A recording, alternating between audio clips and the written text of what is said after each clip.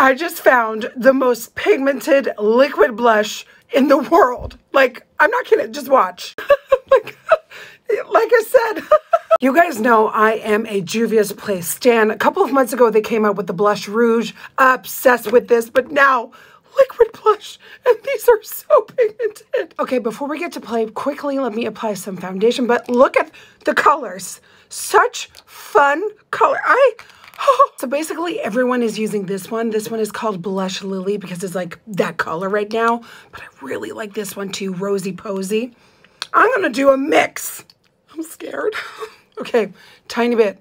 One, two, three. Okay, and then one, two. Ah. Oh. Okay, that is just, oh, this combo might be it. Juvia's Place, you just, you just get it. You just, you just. I am so obsessed. I am so obsessed.